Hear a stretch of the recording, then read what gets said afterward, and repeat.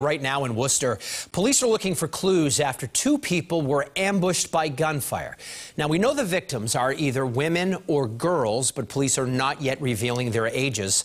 Tammy Mutasa joins us live in Worcester tonight. And Tammy, what do we know so far?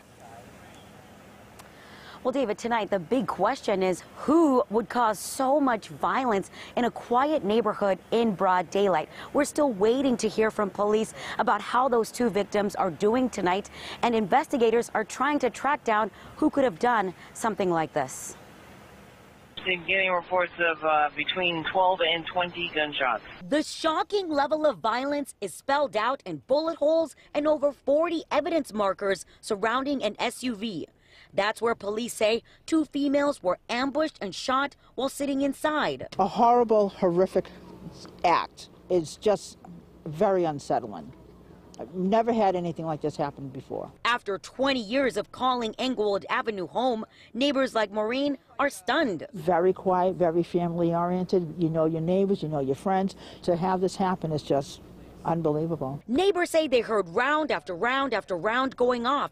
Then police got the 911 calls about the shooting just after 3 p.m. Englewood Ave, there's a Nissan Rogue at that location. Got bullet holes all down the side of it. When investigators arrived, they found the two females suffering from serious gunshot wounds.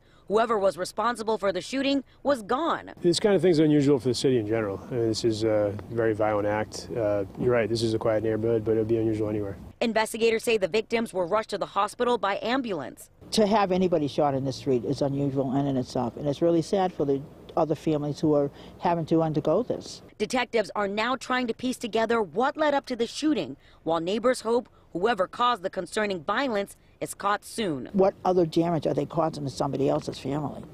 You know, it would be nice to have them caught quickly and brought to justice. And tonight, the city manager sent out a statement saying they are thinking about everyone who's been impacted by all this violence and that it is not acceptable. If you know anything about the shooting, you're asked to call police. Live in Worcester, Tammy Mutasa, WBZ News. All right, Tammy, thank you.